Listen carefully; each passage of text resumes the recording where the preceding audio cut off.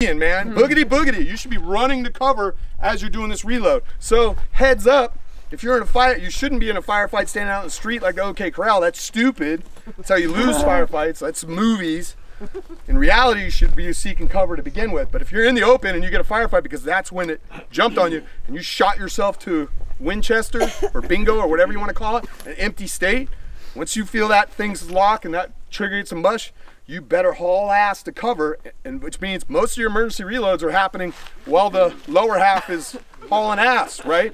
So you got to be be able to do it efficiently. Understand? You want to drop that mag and get that next thing in, and then be able to shoot yourself to cover. That's real defensive shooting. So that's the headspace I want you guys in. It's shot. I reload and I get right back on target and I start dominating the fight again. You need to.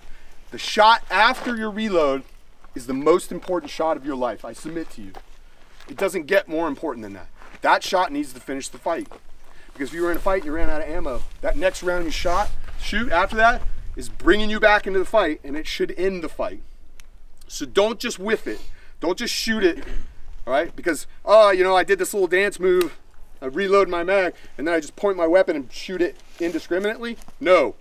That one, you're gonna dial it in and I want it to be the sexiest shot you ever made.